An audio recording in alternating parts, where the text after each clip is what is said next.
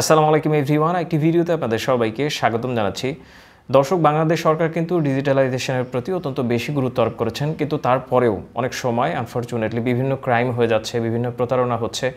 তো আপনার যদি এরকম সন্দেহ হয়, যদি এরকম কনফিউজিং লাগে যে যার ভোটার আইডি কার্ডটা আপনি দেখছেন অথবা কোনো কাজের জন্য আপনি তার ভোটার আইডি কার্ডটা হাতে নিয়েছেন, আপনি চাচ্ছেন যে ভোটার আইডি কার্ডটা একটু ভেরিফাই করতে যে আসলে এটা আসল না নকল, আপনি কিন্তু একটি ওয়েবসাইটের সাহায্যে খুব সহজে পারবেন। এটা কিন্তু যাচাইয়ের কোনো ওয়েবসাইট না। এটা একটা ওয়েবসাইট তো এটা ভিডিওর মধ্যেই বলছি।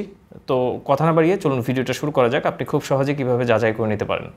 দর্শক, বরাবরের মতোই চলে আসলাম কম্পিউটার স্ক্রিনে এটা আপনি মোবাইল দিয়েও করতে পারবেন, কোনো সমস্যা নেই। ভূমি মন্ত্রণালয়ের একটি ওয়েবসাইট এটি। তো আপনি সরাসরি গুগলে গিয়ে সার্চ করতে পারেন, এটা লিখে চলে আসবে। তো এইখানে একটি মোবাইল নাম্বার দিতে হবে, একটি জাতীয় পরিচয়পত্রের নাম্বার দিতে হবে, যেটা আপনি যাচাই করতে চাচ্ছেন।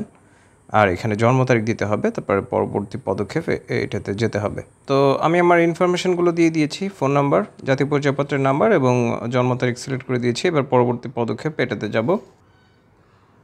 তো যারটা যাচাই করতে চাচ্ছি, তার ছবি এবং এবং তার যে ইনফরমেশনগুলো সেগুলো চলে আসবে। এভাবেই আপনি যাচাই করতে পারেন। দর্শক, আশা করছি ভিডিওটা আপনাদের কাছে ইনফরমেটিভ মনে হয়েছে। যদি সেরকমটা হয়, তাহলে অবশ্যই লাল যে সাবস্ক্রাইব লেখা বাটনটা রয়েছে, ওটাতে ক্লিক করে সংযুক্ত থাকতে পারেন। আর নতুন নতুন ভিডিও দেখার জন্য। আল্লাহ আপনাদের সবাইকে ভালো রাখুন, সুস্থ রাখুন। আসসালামু আলাইকুম।